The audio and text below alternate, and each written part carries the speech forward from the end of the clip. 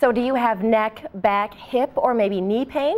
If so, you are like millions of Americans suffering from this debilitating chronic pain.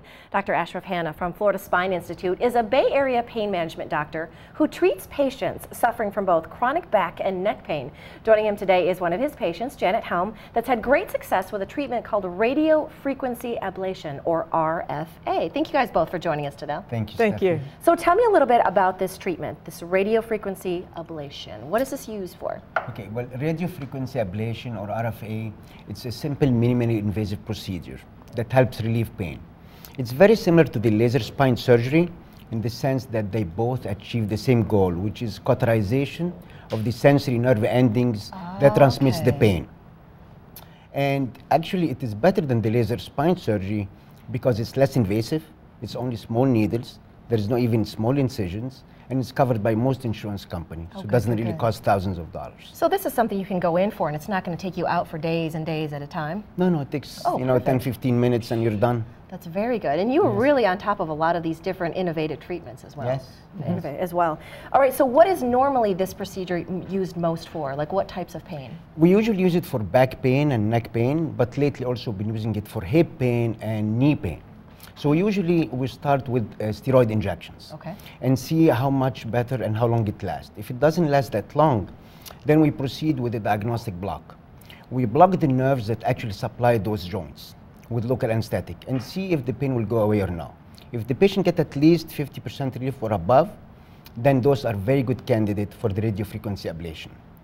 What I really want to emphasize is for patients with back pain and neck pain, that not only because your MRI is showing bad disc, bulging discs, or degenerative disc disease, is that that's your main source of the back pain. You know, the makes small joints in the back are really responsible for at least 40 50% of the back pain. And radiofrequency ablation really helps eliminate that pain. Now, is this something that you would do one time, or is it a treatment that you have to do a couple times? Yeah, it usually lasts for about eight months to a year. Oh my So you can it's just, you know, re- amount of relief. yeah, so you can repeat it again. It's just 15, 20 minutes procedure in and out. Wow, very good. Now, Janet, tell me a little bit about your story with this. You had back pain, chronic back pain? Yes, I've suffered from chronic back pain for about 20 years. Uh, it started with a uh, herniated torn disc in my lumbar spine. And then in 2007, I had to have an open back spinal cord surgery. And what they did there was um, that they put metal into my vertebrae. And when after the surgery, I was in unbearable pain. So I went through physical therapy, I took medication, I had injections, and I still had a lot of pain. So I went to Dr. Hanna and I did try the RFA procedure, and it has helped me. And also, uh, I need less me- uh, medication now. That's huge, That being is able to get patients off that long-term medication as well. Yeah. What would you say to other patients that are watching right now about if they're out there also dealing with this chronic back pain?